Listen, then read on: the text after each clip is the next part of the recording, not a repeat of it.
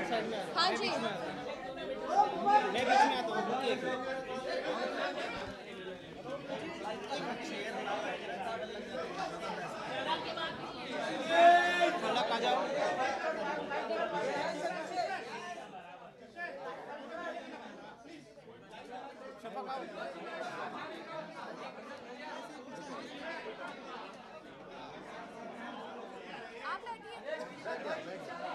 में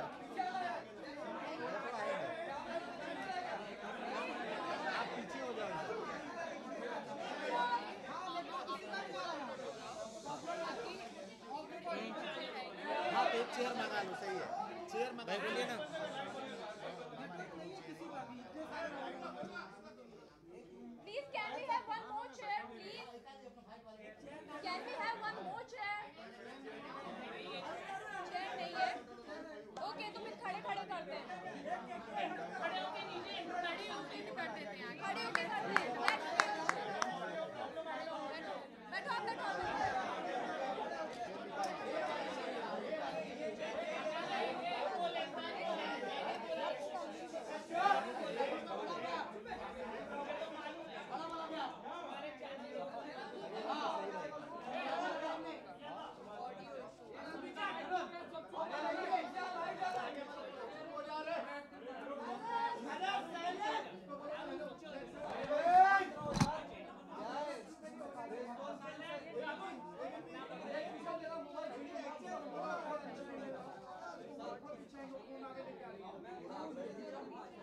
आप सभी से अनुरोध है शांत होते हो या मैं वापस बाहर जाके बाद में आऊँ गाइस शांत हो जाओ यार उनसे उनको बात करने दो रिक्वेस्ट है नहीं तो मैं वापस बाहर जाता हूँ आप लोग शांत हो जाइए उसके बाद आता हूँ। आप शुरू करिए सर आप स्टार्ट कीजिए। Silence please Hello, silence please. And rolling. Okay. नमस्कार। सबसे पहले तो आप सभी को नव वर्ष की हार्दिक शुभकामनाएँ। सेकंड आने के लिए धन्यवाद। सबसे महत्वपूर्ण चीज़ कि आज ये प्रेस कॉन्फ्रेंस हम क्यों कर रहे हैं? जबकि हमने डे वन से कहा है कि मीडिया ट्रायल हमको अवॉइड करना है लेकिन मीडिया ट्रायल में हमें यानी कि शीजान और उनके परिवार को इस तरह से कटघरे में मीडिया के सामने, पब्लिक के सामने, समाज के सामने रखा गया है कि हमारे पास कोई पर्याय नहीं, बट आपके सामने आके जो जो आरोप हम पे, शीजान पे, उनके परिवार पे लगे हैं, उन सभी आरोपों का क्या सच्चाई है, वो रखने के लिए हम आपके सामने आए हैं। मेन चीज़ 24 तारीख को जो तुनिशा ने किया, बहुत ही दुर- दुर्भाग्यपूर्ण है वो। लेकिन 23 तारीख को तुनिशा ने पार्थ जुच्छी के रूम में, जहाँ पे आयुष श्रीवास्तव बैठा हुआ था, शीजान भी बैठा हुआ था, अपने सीन का रिहर्सल या कुछ कर रहा था, तुनिशा रूम में आई। पार्थ से कहा कि, पार्थ भैया, मुझे आपको कुछ दिखाना है, गुस्सा नहीं करिएगा। पार्थ ने कहा, नहीं बेटा, मैं गुस्सा क्यों करूँगा? क्या दिखाना है, बता। तो उन्होंने अपना मोबाइल निकाला फांसी का फंदा बनाया हुआ था, वो चित्र दिखाया गया है, तेईस तारीख को। उस पर पार्थ उन पर भड़के, उनको समझाने का कोशिश किया। तुरंत शिजान ने जब ये ओवरहट किया, पूरा कॉन्वर्जेशन सुना। शीजान इंटरवीन किया, शीजान ने पिक्चर देखा, तुनिशा से बात की, बेटा, क्या बात है? क्यों ऐसा सब कर रही है? बोला, नहीं नहीं, कुछ बात नहीं है, ऐसा कुछ है भी नहीं, मैं सिर्फ़ एक फ़ोटो दिखा रही हूँ। बाकी मेरा ऐसा कोई इंटेंशन या मेरा ऐसा कोई करने का इंटेंशन नहीं है। बाद में तुनिशा को शूट पे बुलाया गया। तुनिशा को शीजान ने शूट पे ड्रॉप किया। वहाँ से तुरंत पार्थ को फ़ोन किया कि ये जो चीज़ है, ये बहुत ही संदेहनीय है। तुरंत मैं इसकी माँ को इन्फॉर्म करता हूँ। तुनिशा की माँ को कॉल किया गया है, सेट पे बुलाया गया है। तुनिशा की माँ सेट पे आई है। आने के बाद तुनिशा की माँ को इन सब चीज़ों से अवगत कराया गया है। अवगत कराने के बाद रिक्वेस्ट किया गया है कि आप एक बात बताइए, आप मम्मी और बेटियों ने आपस में बैठ के दिल से दिल कब बात की? आप एक काम करिए, आपके आप, बेटी को आपकी ज़रूरत है। आप प्लीज़ उसका ध्यान रखिए, उसके साथ में रहिए, उसको अकेला मत छोड़िए। ना तो सेट पे आने के लिए उनको अकेला छोड़िए, या जहाँ कहीं भी जाती हैं, आप प्लीज़ उनके साथ रहिए टाइम स्पेंड करिए, उसको आपकी सख्त ज़रूरत है। ये बोलने के बावजूद उनकी माँ ने तुनिशा को अकेला छोड़ा है। तेईस तारीख की रात को भी तुनिशा घर नहीं थी, बाहर कहीं थी। 21 को भी 22 को भी 23 को भी। 24 की जो घटना हुई है, जहाँ पे एक संदेह ऐसा फैलाया गया है कि पिछले 15 मिनट में क्या हुआ? पिछले 15 मिनट में तुनिशा और शिजान एक दूसरे से काफ़ी दूर थे। शिजान अपना शूट कर रहा था और तुनिशा अपने रूम में थी। उस समय शिजान से उसकी बात नहीं हुई है, उसकी बात किसी और से हुई है जो पुलिस अपनी जाँच कर रही है। जहाँ तक तुनिशा का ये सुसाइड का प्रकरण है, उसमें शिजान या उसके पूरे परिवार का दूर दूर तक ना तो कोई लेना है, ना तो कोई देना है।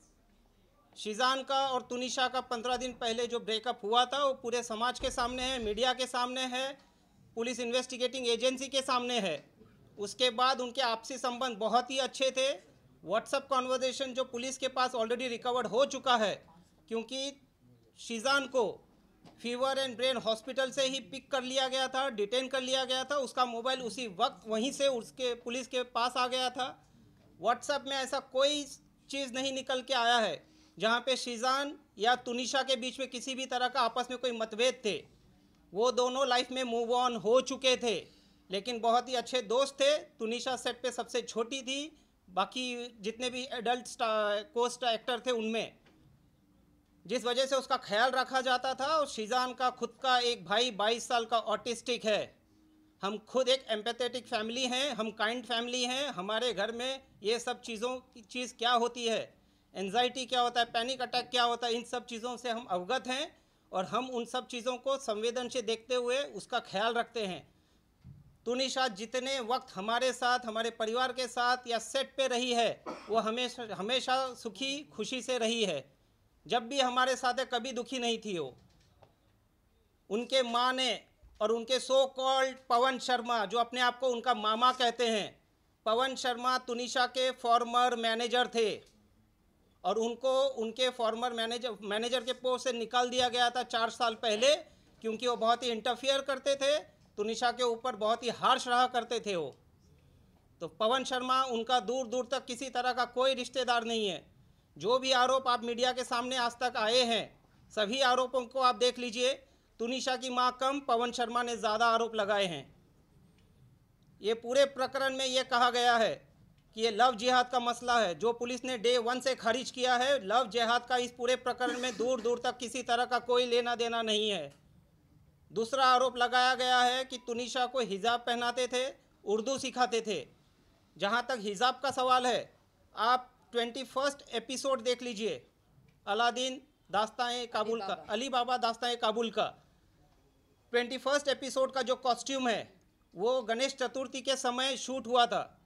वो कॉस्ट्यूम का फ़ोटो सेट पे गणपति पूजा हुई थी जहाँ पे ये गणपति पूजा में इन लोगों ने पार्टिसिपेट किया है। और वो फ़ोटो को इंस्टाग्राम में डाला है, जहाँ पे सभी को हैप्पी गणेश चतुर्थी विश किया गया है। हमारे पास वो सबूत हैं, आप सभी को जिसको चाहिए, हम दे देंगे, हमसे ले सकते हैं। सेकेंडली जहाँ तक उर्दू वाली बात है, हिजाब वाली बात है, दरगाह वाली बात है, वो उनके परिवार आपके सामने रखेंगे। चौथी बात पे आते हैं हम। तुनिशा का, खुद का संबंध उनके परिवार के साथ सही नहीं था। उनकी माँ इन चीज़ों को बहुत अच्छे से जानती है। तुनिशा के पिताजी के देहांत के बाद तुनिशा अपसेट रहती थी। तुनिशा ने अपने पिताजी के साथ जो लास्ट बर्थडे मनाया, उसके बाद आज तक खुशी से कोई बर्थडे नहीं मनाया है। ये फ़र्स्ट बर्थडे अपना खुशी से मनाने वाली थी। तुनिशा के माँ का और संजीव कौशल जी का क्या संबंध है? पुलिस इसकी जाँच कर रही है। बट पूरा तुनिशा को जो कंट्रोल करते थे डोमिनेट रखते थे, वो हैं संजीव कौशल और तुनिशा की माँ वनीता शर्मा तो वो उनके मामा हैं जैसे ज- अब तक के सुनने में आया था क्योंकि वो मामा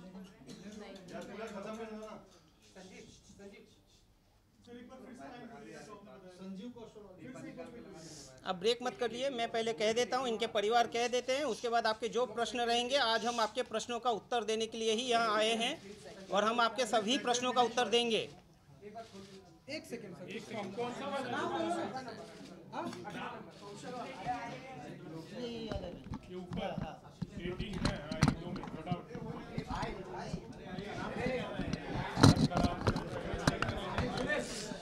आपका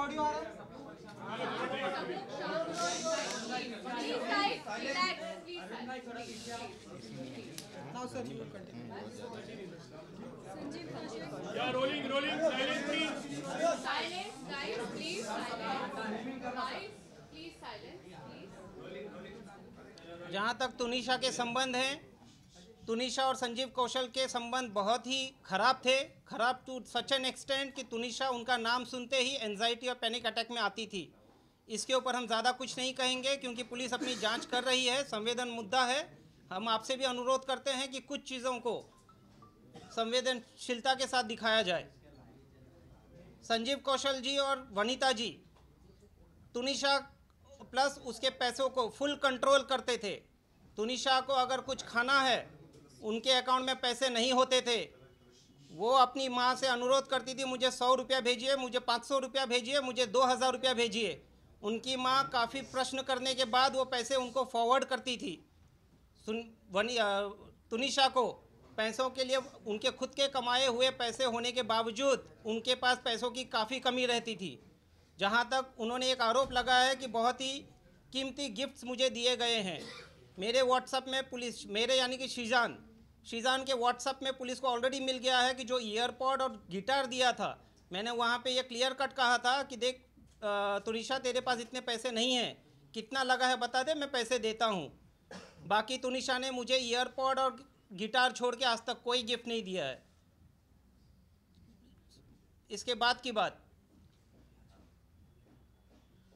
लॉकडाउन के थोड़े पहले मिस्टर संजीव कौशल आए थे बॉम्बे अपना किसी ट्रीटमेंट कराने के लिए। ट्रीटमेंट होने के बाद वो इंसिस्ट कर रहे थे कि तुनिशा को लेके चलते हैं चंडीगढ़।